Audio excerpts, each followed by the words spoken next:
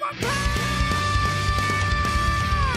Hola, soy Bash y hola amigos, bienvenidos una vez más a nuestro canal. Y bueno, el día de hoy, como ya es costumbre en el canal, les traigo la review del capítulo 249 del manga de One Punch Man. Así es, en esta ocasión, seguimos con la presentación de los neolíderes, y más que nada en este capítulo observaremos cómo algunos personajes son más poderosos de lo que podríamos haber creído. De cualquier manera, también hay que reconocer que este capítulo ha sido bastante corto, y es que sí prácticamente van a adaptar un capítulo del webcomic como con capítulos del manga. La verdad es que esto sí es una locura. De cualquier manera en este episodio tenemos algunos aspectos interesantes, aunque eso sí, todavía no hay ningún rastro de la batalla de Blast contra Boy. De cualquier manera, ahora sí, sin nada más por añadir, comencemos de una vez. Y bueno, el capítulo 249 está titulado Luchador, haciendo referencia principalmente a un pequeño conflicto que existirá entre Raiden y el mismísimo Darkshine. Pero como sabemos, este último no se encuentra actualmente en condiciones, así que no pasó a mayores. De cualquier manera, ahora sí comenzando con el episodio, en primera instancia se nos muestra la portada, en donde observamos a Saitama lanzando un puñetazo mientras se nos dice, perseveraré con mi determinación y mi puño. Así es como ya saben, cada cierto tiempo entre las portadas de waifus nos sale una portada de Saitama. Lamentablemente él no aparece en este episodio, ya que ahora sí comenzando con el capítulo, como recordaremos, precisamente nos encontrábamos ante la presentación de los neolíderes, y justamente cuando todos estaban saludando a la mismísima Webigasa observamos la aparición del mismísimo Raiden, mientras se nos dice Raiden, solo a los Super Rikishi que midan más de 3 metros de altura y pesen más de 400 kilogramos se les permite entrar al ring. Es un Super Rikishi y ex Yokozuna, con un golpe de palma capaz de destruir incluso a monstruos gigantes, ha ganado 700 combates sin perder ninguno. En términos de poder de combate, nosotros lo evaluamos como superior a un héroe clase S. De esta manera ante tal presentación, Raiden menciona, el nombre de Super Alloy Darkshine es famoso incluso en nuestra industria, el hombre con músculos de diamante, su fuerza supera el rango de los Homo sapiens y es abrumadora incluso entre todos los seres vivos, solo hay otra persona a la que se le dice lo mismo, a mí. Y bien, ¿qué te parece un pequeño combate de fuerza? De esta manera observamos como Raiden intenta juntar sus palmas contra las de Darkshine, a lo que este menciona, espera por favor, con una voz bastante titubeante. Y es que sí, como sabemos, Darkshine todavía no se recupera del trauma. De esta manera pasamos con el mejor panel del episodio, ya que finalmente observamos cómo estas dos moles de músculo comienzan a aplicar fuerza el uno contra el otro. La verdad es que a pesar de que sabemos que Darkshine es bastante grande e imponente, al verlo junto a Raiden la diferencia es bastante clara, al menos en tamaño. De cualquier manera, a pesar de que Raiden estaba muy interesado en competir físicamente contra Darkshine, posteriormente dice, detengámonos no era mi intención asustarte. Así es rápidamente Raiden puede percatarse de que su oponente no se encuentra en las mejores condiciones, por lo que no tiene sentido seguir con esta prueba. De esta forma Raiden se voltea y menciona, parece que no estás en las mejores condiciones en este momento, a lo que dentro de él piensa que la otra opción es que realmente Darkchain alcanzó su límite y su fuerza no es suficiente para competir contra él, lamentándose porque Raiden estaba consciente que tal vez Darkchain sería aquel que pudiera rivalizar en fuerza contra él.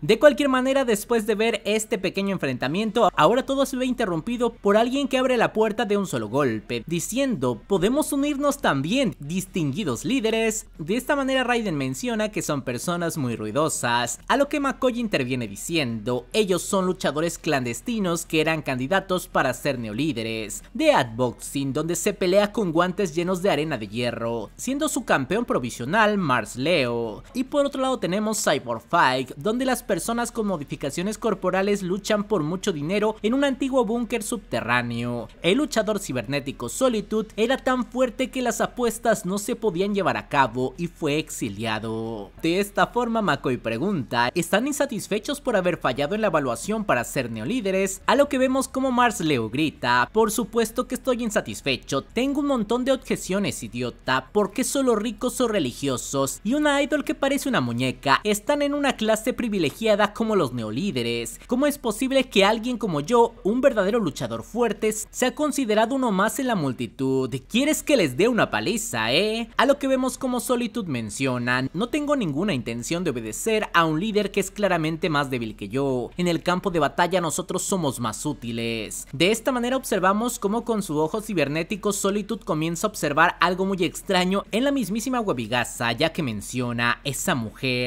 tiene un 71% de tasa de modificación corporal. Es imposible, incluso los luchadores cibernéticos de Cyber Fight tienen una tasa de modificación de aproximadamente el 30% en brazos, piernas, ojos, etc. La cibernetización que supera el 60% tiene pocos casos de éxito y es extremadamente peligrosa. He oído que en la asociación de héroes hay algunos cyborgs con más de 60%, pero una chica tan joven, ¿qué tipo de determinación tiene para enfrentarse a eso? Y bueno, me llamó la atención la referencia al cyborg de la asociación de héroes, supongo que es el mismo Genos, y hay que recordar que se supone que solo el cerebro de Genos es el que sigue siendo humano, así que creo que su porcentaje debe ser mucho más alto al de Webigaza, probablemente Genos esté por ahí del 90%, al menos eso supongo. De cualquier manera, regresando a la situación, Mars Leo se percata de que Solitude no se mueve ni un segundo, preguntándole por qué demonios se queda congelado, a lo que finalmente dice, da igual, les mostraré la velocidad de mi puño, estos guantes de arena de hierro que pueden romper hasta el cráneo pesan 9 kilos cada uno. En el Dead Boxing recibir un knockout está directamente relacionado con la muerte, es una lucha a muerte llena de emoción y peligro, como si siempre estuvieran en un combate serio y afilado, es un enfrentamiento mortal, observando como Mars Leo comienza a lanzar golpes a su alrededor, a lo que el propio Suiryu reconoce que ese parece un buen golpe, mientras que Raiden menciona, Darkshine-san será mejor que se aleje, ya que precisamente en ese momento Mars Leo se va acercando poco a poco a Darkshine diciendo se me resbaló la mano e impactando un golpe a toda potencia al abdomen de Darkshine mientras dice maldita sea qué mal gesto de mi parte y terminó impactando. Jejeje estás bien a lo que observamos como Darkshine bastante tranquilo menciona yo estoy bien pero está bien tu muñeca de esta manera vemos un escenario desgarrador y es que parece ser que en efecto la muñeca de Mars Leo ha sido completamente rota, incluso creo que vemos el hueso expuesto. La verdad es que sin duda alguna la resistencia de Darkshine sigue siendo bestial. Obviamente como todos sabemos el problema no está en su físico sino en su mente. De cualquier forma ante tal escenario Suiryu menciona, deberías parar ahora, lo entendiste, la culpa es de otro, deberías irte a casa por hoy. De esta manera ante tales comentarios por parte de Suiryu observamos que ahora sí Mars Leo eh, y el mismo Solitude se enfurecen, por lo que ambos comienzan a atacar a Suiryu con todas sus fuerzas. Lamentablemente para ellos el nivel de Suiryu está muy por arriba de estos dos individuos, por lo que puede manejarlos con sus artes marciales con muchísima facilidad, simplemente esquivando y bloqueando los ataques que ellos lanzan. Y terminando de esta manera el episodio, como ya comenté antes, la verdad es que el capítulo parece bastante corto, además de que también en este momento se, se siente un poco entrecortado. Como mencioné al principio, para los lectores del webcomic sabrán que todo esto ocurre en un solo episodio,